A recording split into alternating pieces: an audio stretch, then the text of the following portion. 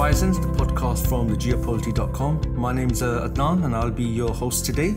Egypt for long was the political leader in the Middle East, but ever since the Arab Spring over a decade ago, it would seem Egypt may be losing its title to a host of countries like Saudi, like the UAE, or even Turkey. With a growing population which now exceeds 100 million, a government dominated by an entrenched military, increasing national debt, Egypt doesn't look anything like the regional leader it once was. So to discuss everything Egypt, I've got with me today Shezad Choudhry, who is the newest addition to our analyst team. He's just returned from Egypt after spending about a year studying there. How are you doing, Shezad? Very well, thank you, Adnan. Thanks for having me on the show. I think for our listeners, it would be good, Shezad, if you highlighted what you were doing out in Egypt and how you found things. So I went to Egypt to study Arabic. It's something I've always wanted to do. Finally got the chance to do it. Went there with my family, my wife and my two kids. And we stayed in a part of Egypt called Medinat al-Nasr. It's in Cairo, the main city.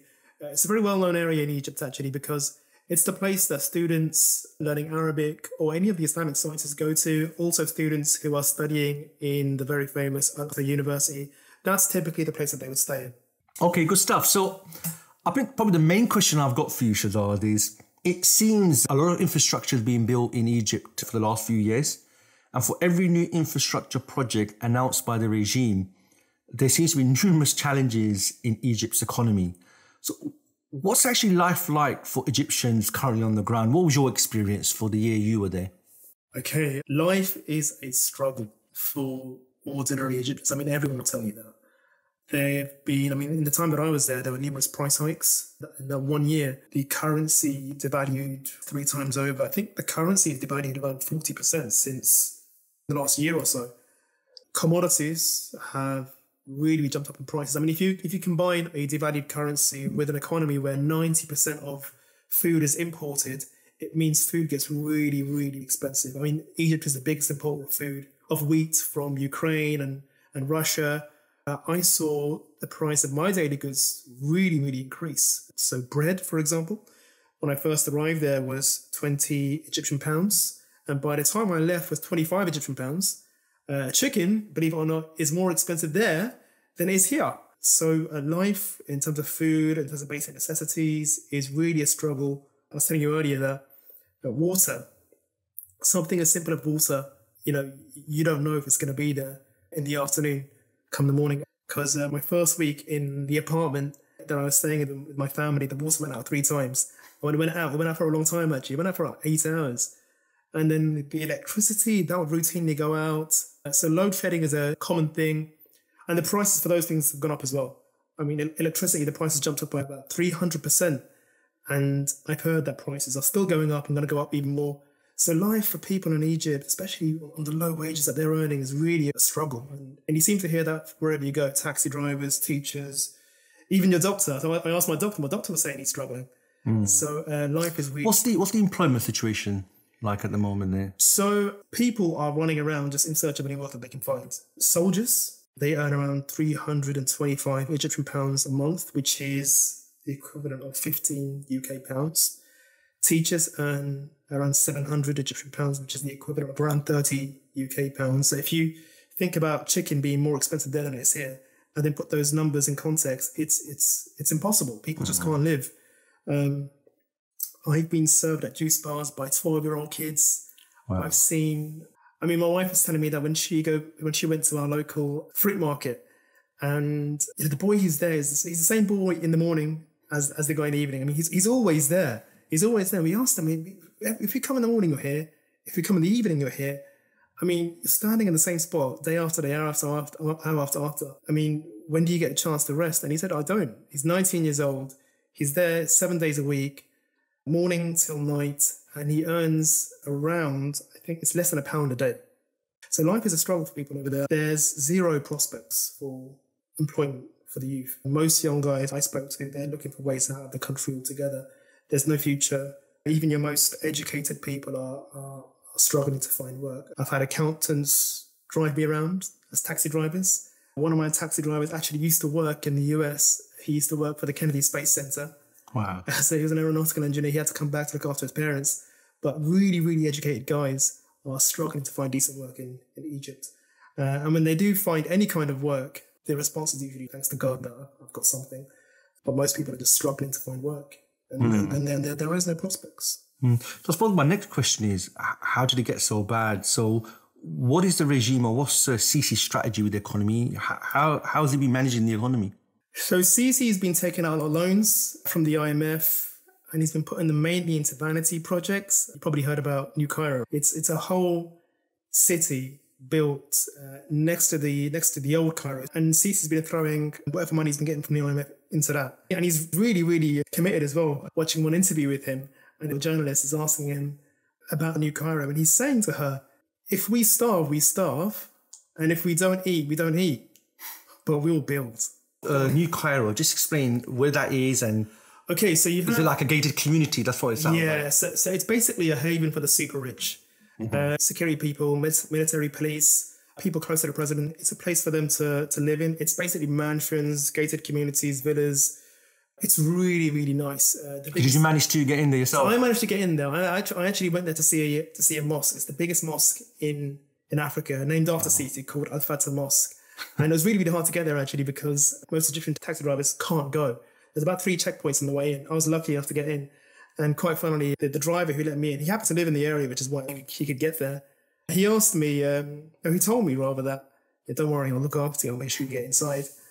And I showed him my red passport. And I go, don't worry, mate, I'll look after you. Because the way things work in uh, Egypt is uh, if you've got a European passport, an American passport, you're treated a lot better than the, the guys who live there. But yeah, a lot of money has been taken from the IMF, thrown into vanity projects. Unfortunately, a lot of that money, before we even get to the project, it's kind of it, it, fills the pockets of some official somewhere. Mm. I remember even hearing that I think Sisi said, uh, "We have no plan, we have no deadline, we just build, we just build." So he's really committed to building. He's built a new express lane next to the Suez as well. There's bridges, so there's going up The Suez Canal expansion yeah. project they've got, will that have any impact on the, the broader economy? This is quite funny, actually. Sisi was advised before he built the new Suez Canal that this will bring zero economic benefit to the country. And he said in response that we don't listen to the specialists, to the experts. We build for the morality of the people. So this is where he's coming from. So in his view, building, that's the way to get the economy, to get the country out of its desperate situation. But it's not worked because bridges and roads don't feed stomachs. Okay, so how does your average Egyptian get by then with this strategy being led by the regime? People don't eat chicken. People don't eat meat. A lot of the population have access to these subsidized food cards. Mm. If you have one of these cards, you can get bread. You can get basic like a voucher, like a voucher kind of. You can get basic bread, beans at, at subsidized prices. The problems, which which has always been a good thing, and it's uh, kind of the only good thing that Egyptians had in their lives.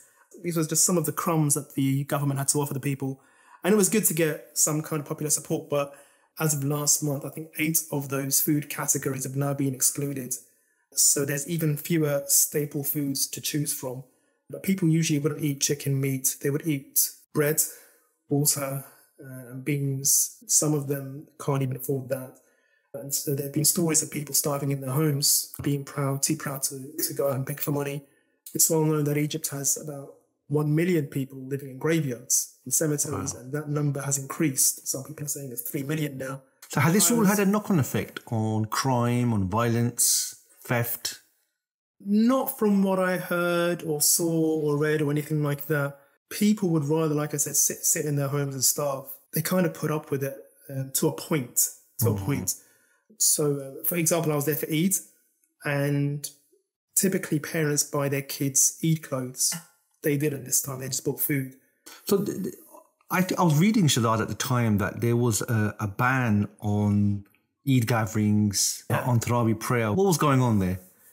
In terms of Ramadan, I was there for Ramadan, and a lot of restrictions were imposed on the Taraweeh prayers, the evening prayers, the Tahajjud prayers. So what happened is the Taraweeh prayers were limited to 30 minutes. You couldn't wow. pray more than that. The the Tahajjud prayers are bound all together. Itikaf, which is uh, seclusion in the mosque, was mm. bound all together. And iftar was bound all together from happening inside the masajid. So the excuse for all of this was Corona. Social distancing was enforced in the mosques as well. You had to social mm. distance. And this was all happening at a time where all those restrictions were lifted in every other country, including Saudi Arabia. So you could do the Umrah, but you couldn't do this in, in Egypt.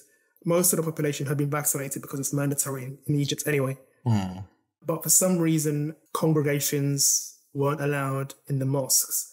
And this, for a lot of Egyptians, was, was a red line. Even the Wazir al Awqaf, which is the Ministry of Religious Affairs, they came out on TV and said, Look, if we find anyone in the mosques, we're going to arrest you. And it was live, they broadcast live, them knocking on mosque doors, checking if anyone's inside, and threatening to arrest them. So this was really a red line for the people. And by the end of Ramadan, the last three days, Sisi had to lift all of these restrictions. But like I said, he had no problem with people gathering together for a football match between Senegal and Egypt. But when it came to the mosques, so a lot of people interpreted this as Sisi is an enemy of Islam Muslims. He's scared, doesn't want any congregations to take place. Listen, leads nicely to my next question, Shezad. Um, how, how do you see Sisi's grip? Now, it's been, uh, I think 2013 is when he did his coup, so next year it'll be a decade. So he's been in power for a decade. So how is he managing to still remain in power despite the state of the economy? What sort of tactics did you see on the ground? How is he still managed to remain in power despite where the economy is and these challenges that you've outlined that people are facing? I think the biggest thing is fear. The number of stories I heard about people getting abducted, disappearing from the streets or their homes, trials where no lawyers were present and no access to any kind of uh, family or legal representation, I lost count. There are mass trials without evidence, there are executions that happen. Interesting story. Um, you, you, I don't know if you remember the Rabaa killings. In, in the protests in the Arab Spring in 2011, loads of protesters gathered in a place called Rabaa, and Sisi led a mass killing spree and he killed between 900 and 1,000 protesters and civilians. He accused them all of being Ikhwan, and more recently, he's more like blamed them for the entire incident. I think 1,200 civilians were prosecuted, rather, for the death of nine officers at that time, but no officers have been prosecuted for the death of 900 civilians. So there is really a state of fear. People are scared that if you speak up, something might happen to you, but even the people are speaking out. There was a uh, there's a media show. It's a new series called The Choice Al Ikhtiyar. It's a show about the rise of Sisi. It's, it's an endless source of memes. Memes, let's put it that way, because in the show, Sisi is brave, he's courageous, he's a hero, he's pious, and he's tall. so there was a lawyer who publicly criticized, I think, his height. Yeah, um, his name was Nabil Abu Sheikh, and for that alone, just for criticizing him in that way, he was sentenced to 15 years for spreading false news. But this is really what the government does. It, it keeps people in line in check by using fear, and even if they mock the show, something like that, something as simple as that might get you in some serious trouble. The, the other thing that he does is, he's done more recently, he's invited the dialogue with the opposition. So a few days ago, uh, Sisi announced that he'd be releasing about 5,000 Ikhwan opposition from prisons because they, they now fill the prisons. He's going to release about 5,000 of them and he's going to start a dialogue uh, with them to get out of the the whole economic situation as if, as if to say that uh, blood is somehow on their hands as well. But yes, yeah, some desperate moves by, by Sisi. And uh, Ikhwan, I don't know, did you meet Yeah. any of them on the ground? What's their situation like currently? Yeah, I did. I did. Um, so the situation is not good at the moment. Sisi has built loads of prisons since he's come to power. Actually, a third of prisons are built by him in the last 10 years. And they're mainly filled with, with activists and political opposition, mainly Ikhwan. Some say it's up to 100,000 Ikhwan in prison behind bars. So they've mainly gone quiet, but there are some people on the ground still, yeah. So you, you wouldn't say they've gone underground? Let's put it this way they're a lot quieter than they used to be. You don't mm. see them as much. Reading around just yesterday, obviously the regime's got a narrative to try and explain why things are so bad. They've been putting the blame on COVID 19 and now the war in Ukraine. So, how much of Egypt's current problems can be put down to these two? So the, the regime keep changing their mind about what the problems happened in the first place. If you ask the people why why the problem's happening, they'll say Sisi.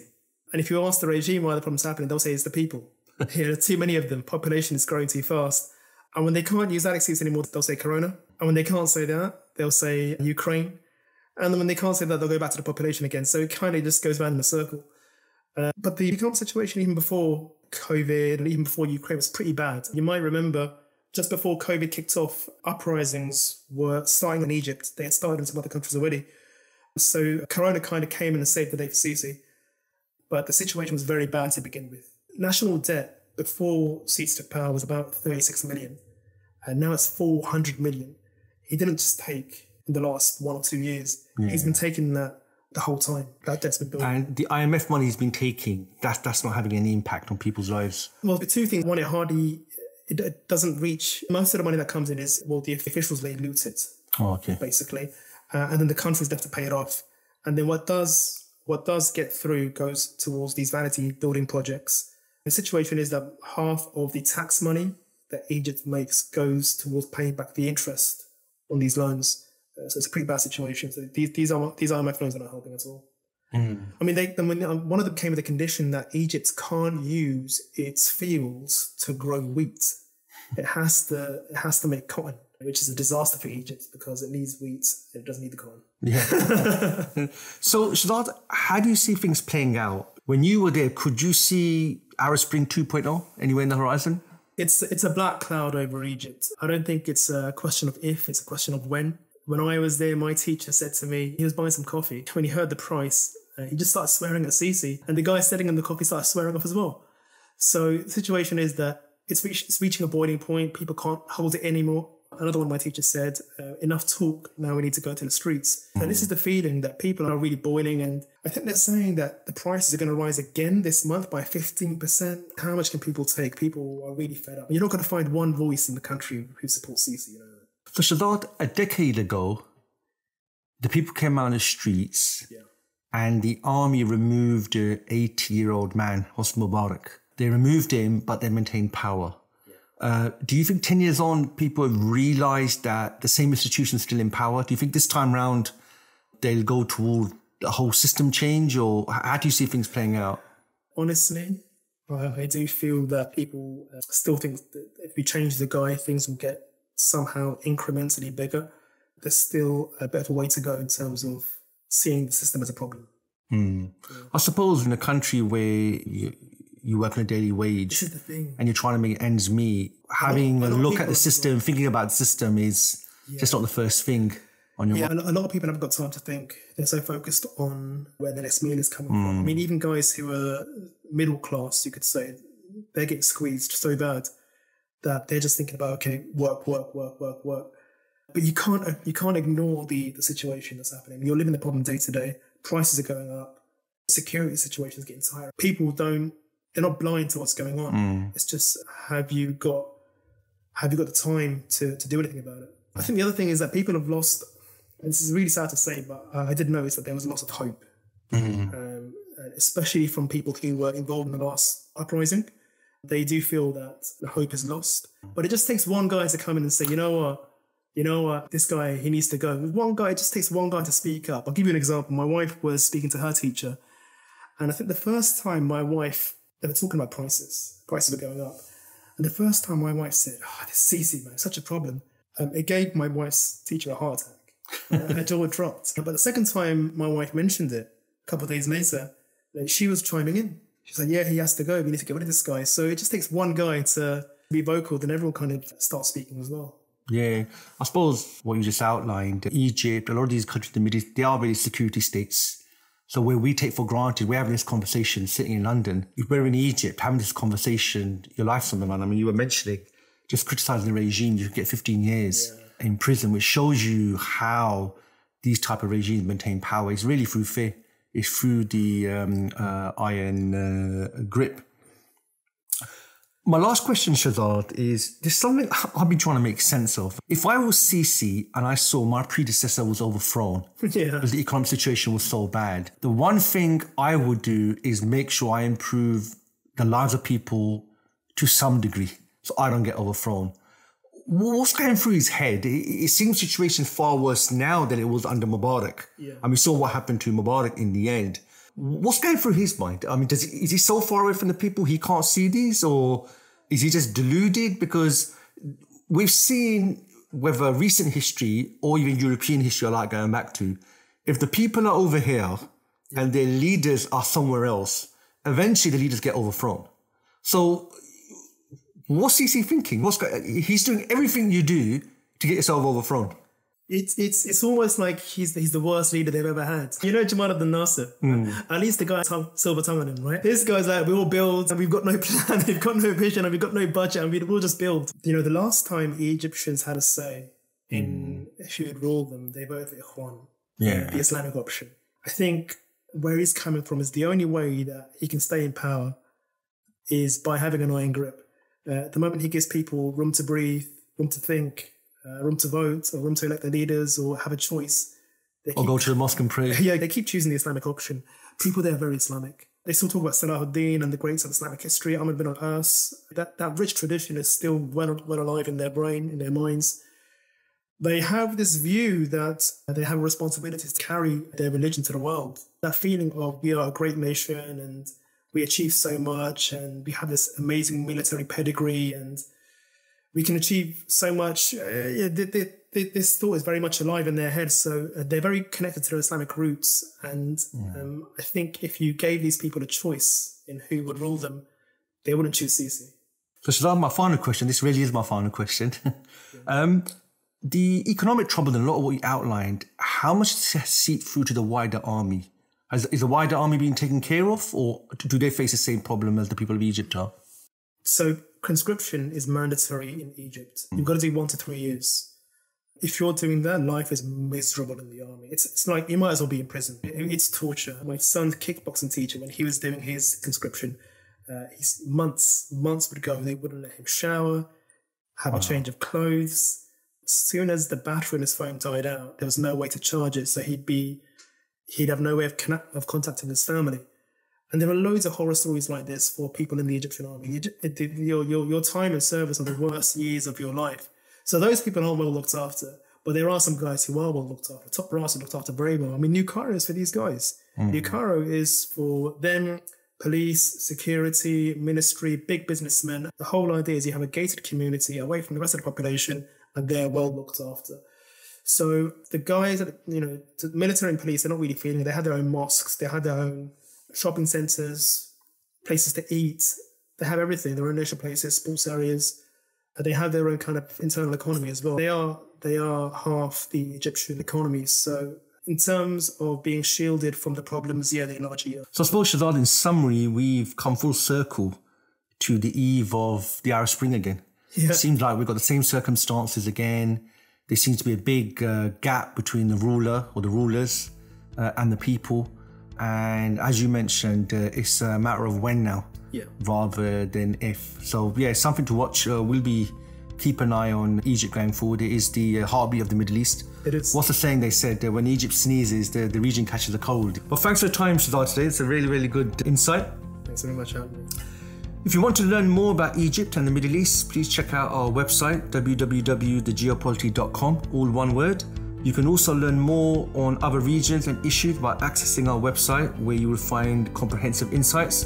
I'm Adnan, and thanks for listening.